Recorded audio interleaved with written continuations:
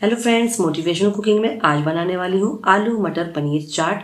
तो आइए जानते हैं इसकी रेसिपी बहुत ही टेस्टी चाट है और बहुत ही जल्दी बनकर तैयार हो जाती है। इसके लिए हमें ज़रूरत पड़ेगी हाफ़ बाउल बॉइल्ड पीस की। हरी मटर के दाने हैं जिन्हें उबाल लिया है। तीन लिए हैं उबले हुए आलू। 90 परसेंट थे ये। काजू ले लिए हैं 18 बीस नग और ले लिए हैं एक बाउल भर के पनीर। थोड़ा सा चाट मसाला और नींबू का रस। डाल लेंगे अपने तवे पर एक टेबल स्पून ऑयल ऑयल जब अच्छा गर्म हो जाएगा तो डाल देंगे उबले हुए आलू। ये बना रही हूँ मैं नॉन स्टिक तवे पर। आप चाहें तो रोटी तवे पर भी इसे आसानी से बना सकते हैं। घर पर ही बिल्कुल शादी पार्टीज़ वाली चाट कुछ ही मिनटों में हो जाएगी तैयार। अब इन आलूओं को सेक लेना है हमें करारा होने तक। करारे, कुरकुरे, सुनहरे होने तक इन आलूओं को सेकिए। बहुत बढ़िया चाट बनकर तैयार आपकी होगी। आलू सिक चुके हैं और सिके हुए आलू को निकाल लेंगे बाउल में। इसी तेल में डाल देंगे अपनी उबली हुई मटर के दाने और इन्हें भी हम सेक लेंगे। ये उबली हुई मटर है तो पकी हुई है, बस हमें इन्हें अच्छा करारा होने तक सेक लेना है। करारे आलू और उसके साथ मीठी मीठी मटर का दाने इस चाट के टेस्ट को बिल्कुल डबल कर देंगे।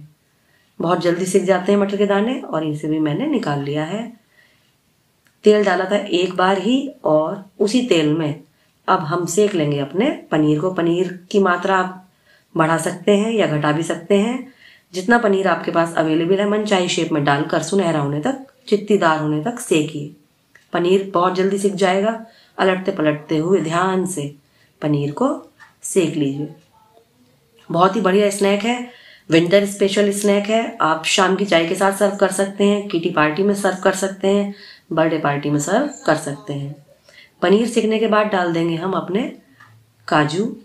तो मैंने नट्स में केवल काजू का इस्तेमाल किया है और काजू का टेस्ट भी इस चाट में बहुत अच्छा आता है। बहुत जल्दी काजू सीख जाते हैं और हल्का सा निशान आते ही आप इन्हें उतार लीजिए। अब डाल देंगे हम उसी तवे पर थोड़ा सा बटर बटर डालना ऑप्शनल है, लेकिन बहुत अच्छा टेस्ट चाट में आएगा। सारी सीखी हुई चीज़ें अब इस मेल्टेड बटर में आपको अच्छी तरह से हिलानी है। डाल लेंगे कसा हुआ अदरक, स्वाद के अनुसार नमक, जीरा पाउडर, और अच्छी तरह से मिला लेंगे। चाट मसाला, चाट मसाले में भी नमक होता है। बहुत चटपटी टेंगी चाट आपकी बनकर तैयार होगी। नमक की मात्रा का ध्यान रखें।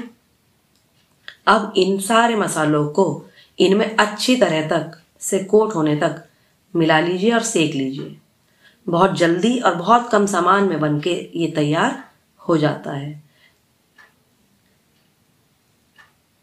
ये चटपटी चाट जब आप घर पर बनाएँगे तो घर के सारे मेंबर्स जो भी इसे टेस्ट करेंगे वो बता ही नहीं पाएँगे कि आपने घर पर ही बनाई है।